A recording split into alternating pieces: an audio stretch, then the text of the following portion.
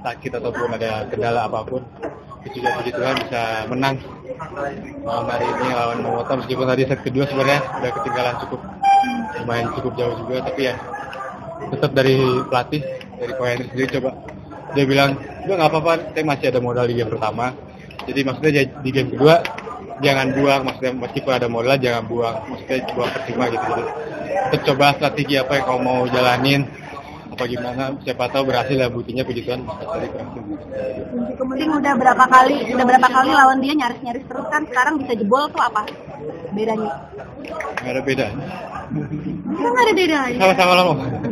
Nah sebenarnya tadi strategi waktu sebelum masuk juga kan emang dari kemarin juga sih kalau bisa di babak pertama ambil dulu gitu loh mau gimana caranya fokus di game pertama dulu terus juga kan di set kedua sebenarnya kan menang angin juga tuh.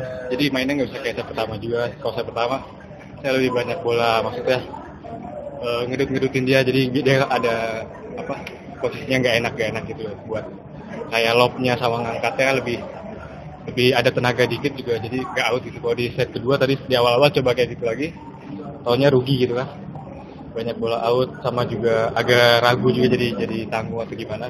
Terus tadi tadi strateginya lebih banyak waktu udah ketinggalan gitu coba lagi kata Kuali strateginya eh, inisiatif pegang depan terus juga belakangnya bebas tinggal divariasiin gitu. Nyangka nggak menang dua game langsung.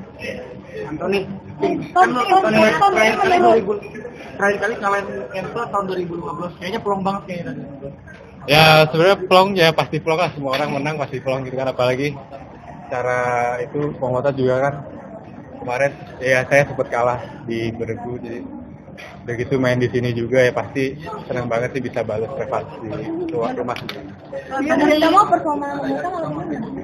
Sebenarnya performanya dari game pertama sempat apa ya maksudnya rame juga ya ketat juga di game pertama terus juga di kedua kan dia bisa megang kendali di game kedua awal sampai berapa dulu lupa saya tapi ya mungkin eh, memang ada pepatah apa namanya? Apa tuh apa itu ya tiada apa hasil yang usaha yang mengkhianati Oh iya. Aduh, emang usahanya apa sih? kayak sekolah banget apa-apa. Tadi ya tadi usahanya nggak mau menyerah aja meskipun udah ketinggalan jauh. Nggak ada pikiran mau oh, ya udah nyerah. Di game ketiga aja fokus itu. Jadi tapi nggak coba tetap eh, jalani strategi yang mau dicoba. Yang gimana nih Antoni apa rasanya ngalahin juara dunia? Ya, tadi kan pelong banget pernah Tony, oh kita supporter kayak nama kamu banget tuh happy banget terus ada orang tua kamu juga datang. Gimana perasaannya? Ya, lengkap lagi.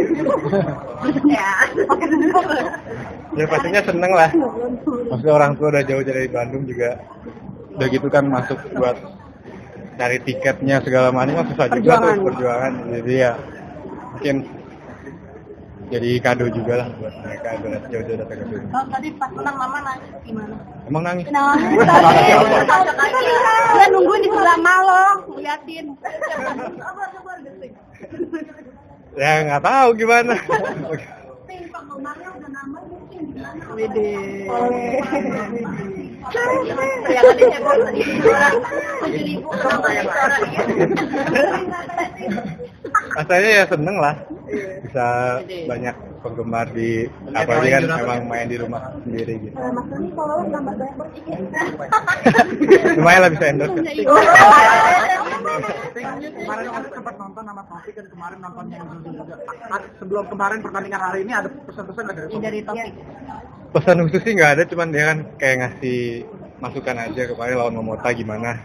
Waktu di kan saya sempat leading jauh terus juga ya mesti jaga fokusnya aja katanya sebenarnya kalau dari cara apa teknik sama fisik sebenarnya nggak kalah kan kita cuman dari fokusnya aja fokusnya dari awal sampai akhir mesti bener-bener jaga eh, fokus di lapangnya sama mentalnya aja sih kata dia itu kata dia dia Ting besok lawan Chandler. belum oh.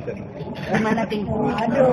Gimana gimana ya tetap persiapannya ya pertama eh, fokus buat apa recovery kaki lagi dulu. Kan hari ini matchnya juga cukup capek juga. Terus kalau buat besok ya jaga fokus aja sih. Fokus sama fisiknya ya makan sama istirahatnya penonton harus teriak nggak teriak-teriak penuh. Ya nggak di nggak disuruh juga pasti teriak. Selebgram. oke. Oke,